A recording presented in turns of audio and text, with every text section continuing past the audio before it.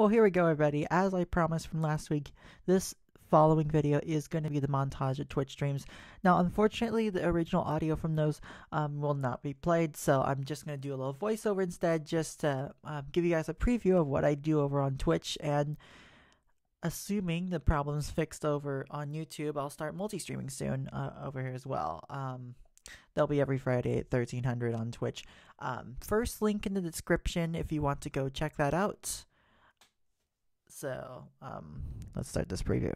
So what I do over on Twitch is I just I'm starting with just just chatting type of streams where I just um, read comments from chat and I do stuff like this where I just do things in ASMR such as opening cans of sparkling water or just drinking regular bottles of water as well as pretty much anything I can find around my studio.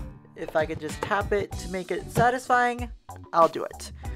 Or maybe I could just react to some YouTube videos. I have done the same with reacting to all my uh, surf sessions that I did in the past.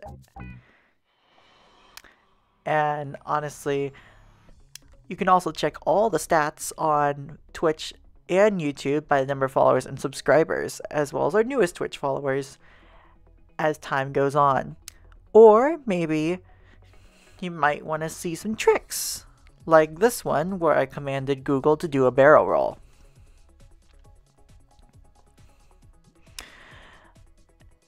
And for those wondering, um, I broadcast using Streamlabs.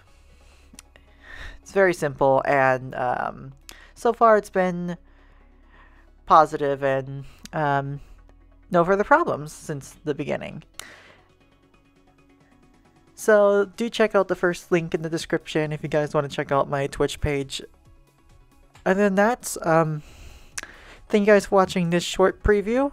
Um, and we'll see you guys next week. Until next time, as I say at the end of my streams, adios.